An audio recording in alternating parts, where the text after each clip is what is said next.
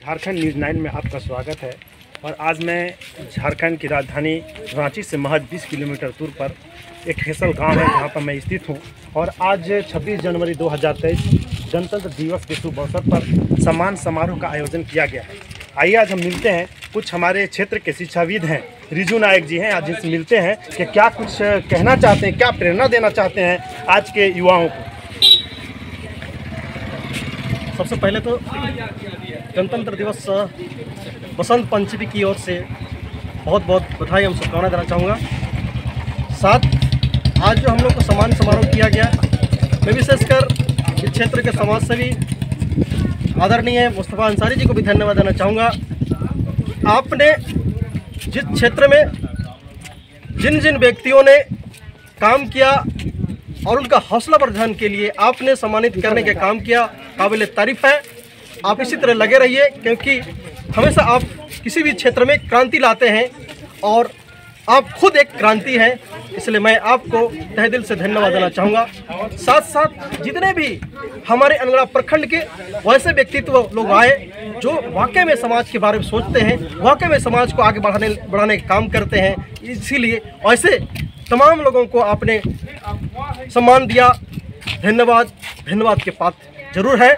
तो मैं विशेषकर नौजवान साथियों कहना चाहूँगा इस अवसर पर कि आप देश का कर्णधार है, आप देश को आगे बढ़ा सकते हैं, आप अपने आप को स्थापित कर सकते हैं, इसलिए आप जिस क्षेत्र में, जिस चीज़ को काम करते हैं मन लगा के करें।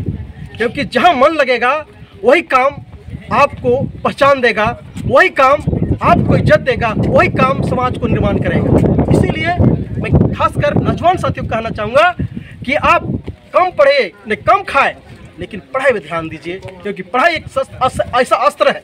पढ़ाई ऐसा एक हथियार है, जिससे सभी हथियारों को निस्त्रावंत किया जा सकता है। साथ साथ एरिया में, क्षेत्र में, भाईचारा, बंधुत्व को भी आत्मसात करना है, और जब तक भाईचारा, प्रेम नहीं रहेगा, समाज का विकास नहीं हो सकता है, देश का विकास नहीं हो सकता है, इसलिए इस पर भी ध्यान देना चाहिए। धन्यवाद।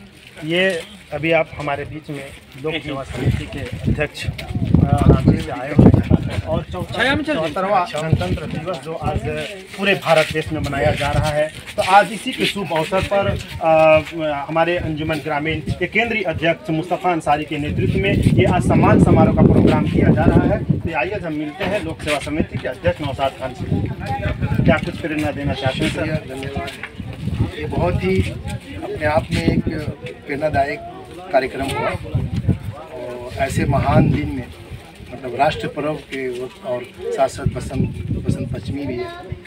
और हेसल गाँव में जो मैसेज देने का काम किया गया, शिक्षा के लिए और देश प्रेम के लिए, आपसी सम्मान, सद्भाव के लिए, ऐसे कार्यक्रम से ही लोगों में जागरूकता और समाज का निर्माण होता है।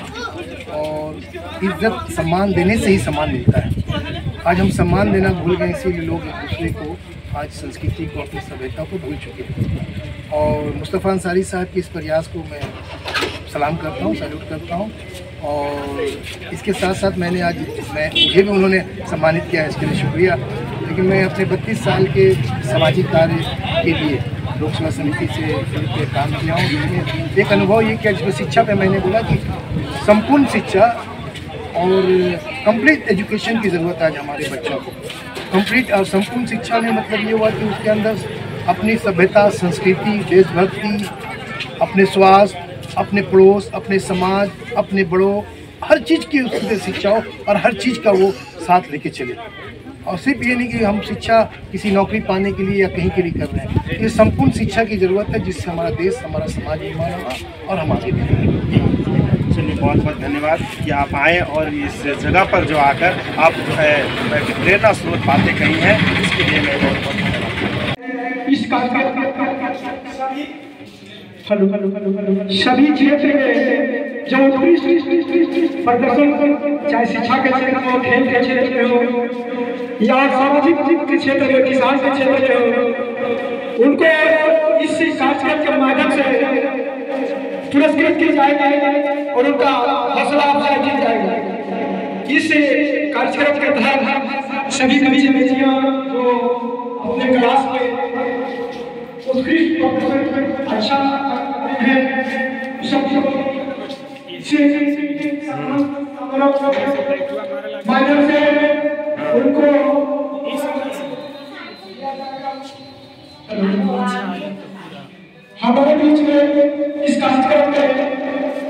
हमारे